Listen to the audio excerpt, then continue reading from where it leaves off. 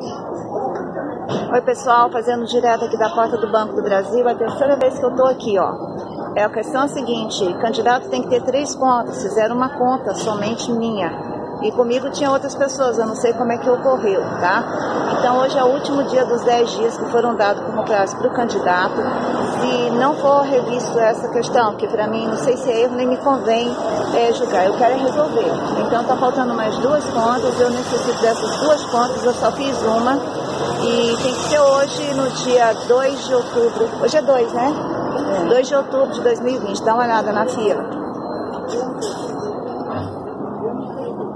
Olha só.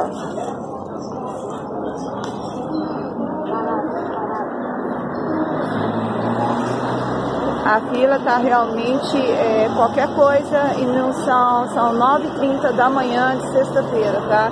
Vamos ver o que, que vai ser, é muita pressão, é, é muita exigência, é muita ida, muita volta.